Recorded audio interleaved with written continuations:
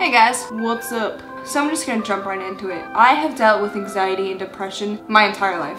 Not only that though, it hasn't been just a part of my life, it has been my life. Every single day, I have to worry about working hard to be happy. It's not something that comes easy to me, and I've accepted them. However, growing up, it was a whole different story because I had no idea how to handle it. I had no idea what was wrong with me. You know, all these other kids were always happy and I was always sad and I didn't know why I was such an outcast. What the heck is wrong with me? I've had the support of family and friends over the years. The problem with having support from other people with such situations like this, with anxiety and depression, is that sometimes they just can't handle it. If they don't have anxiety or depression, they don't fully understand and so it's hard for them to take on the responsibilities of being the support system. And I understand completely, but sometimes you just need that support system and other people can't be there for you. However, I will say, I've had one little, little squirt be in my life since 2005 and now 2016 and he's been there for me no matter what. And you guessed it, it's my little man,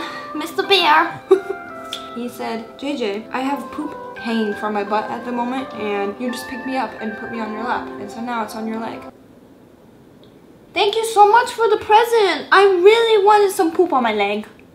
I wanted to make this video because it's National Dog Day and I wanted to bring awareness to how important I believe it is to have a dog for someone that deals with mental illnesses, someone who deals with anxiety and depression and wants a support system who's gonna be there for you no matter what. It's these little guys. Is it right, Mr. Scooterbite? Like I said before, every single day has been a challenge. I've had to try really, really hard just to be happy. But every single time I've looked at his face, it's brought me happiness. You don't have to have depression to get joy from a dog. There'll be so many times in your life when you feel down and you feel upset and I can guarantee the joy that a little loyal companion can bring you. He just has always been in my life and he's been so important to me. But he's always been there. What, through the crying, through the anger, he's been there. I mean, in his defense, he doesn't know what's going on. I'm really happy to have a dog in my life to help me through these really tough times. I've tried really hard with antidepressants, everything, therapy, just to try to get by. But dogs doesn't, he doesn't fail to bring me joy. Isn't that right, mister? Wait, oh, oh, look out. Bear cat. Oh, bear.